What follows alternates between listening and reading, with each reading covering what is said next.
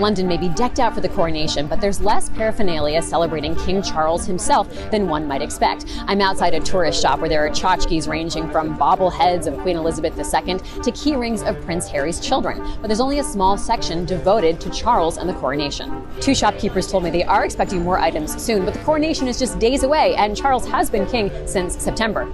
The most common Charles items you can find around London are tins of tea and mugs, but of course, it's not only the images of King Charles and Queen Camilla on sale. Over at the luxury store Harrods, there are supplies to throw your own coronation party, and at retailer Marks & Spencer, you can get your coronation biscuit tin.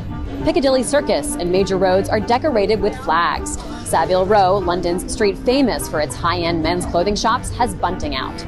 After more than 64 years as the longest serving Prince of Wales, Charles is just beginning to put his own stamp on being king. And merchants in the United Kingdom will also figure out just how marketable his reign will be.